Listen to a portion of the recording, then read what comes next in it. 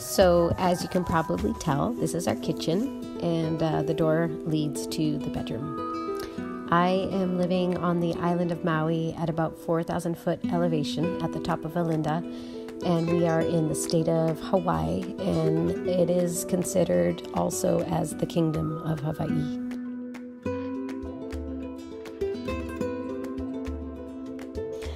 So, my door has a black wooden frame all the way around it, and the entire door, as well as the walls and everything here, were built by my boyfriend. Pretty awesome.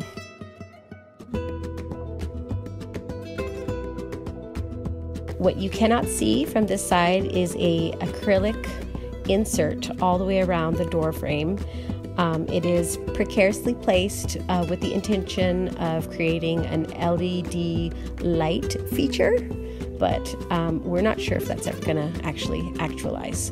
But it's a great vision and we love it. you may also be able to see that the door has no doorknob.